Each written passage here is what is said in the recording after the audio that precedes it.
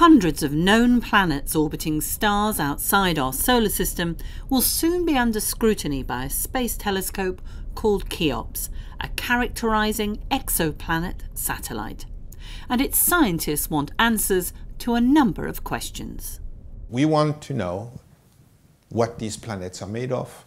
We want to know how hot they are. We want to know the atmospheric composition, structure. We want to know the surface temperature. We want to know if there's water there and eventually if there's life.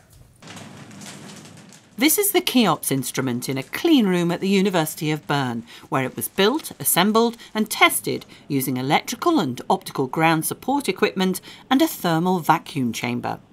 Now in Madrid for further launch preparations, the telescope houses two mirrors, a CCD detector or camera, and a baffle to reduce stray light.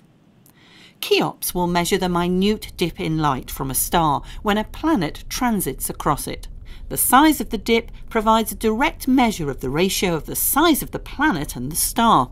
This, combined with a knowledge of the size of the star, gives the planet's size. Radial velocity measurements from ground observatories will supply its mass.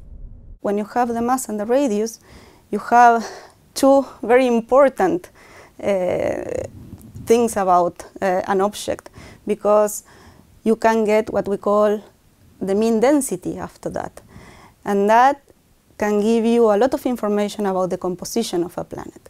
For example, it can immediately tell you whether the planet is uh, mainly formed of gas or if it's a rocky planet. The challenge was to build an extremely accurate and stable telescope that blocked signals caused by stray light from its electronics and instruments. The telescope will therefore be kept at minus 10 degrees C and the detector at minus 40 degrees to reduce signal noise.